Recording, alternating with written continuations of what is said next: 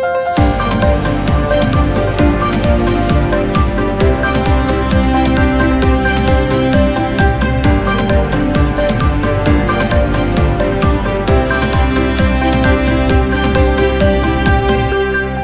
Qo'qon shahar hokimi fuqarolarni qabul qilmoqda. Ma'rufjon Usmonov Qo'qon shahar hokimligiga murojaatlar bilan kelgan fuqarolarning muammo masalalarini ko'rib chiqib, joyida hal etish choralarini ko'rmoqda. Xususan, aholi tomonidan davolanish uchun moddiy yordam ko'rsatish, kechiktirilgan kredit to'lovlarini so'ndirish, ishga joylashish, kommunal idoralardan bo'lgan qarzdorliklarni qayta hisoblash bo'yicha bildirilgan murojaatlar ko'rib chiqilib, mutasaddilarga vazifalar belgilab berildi.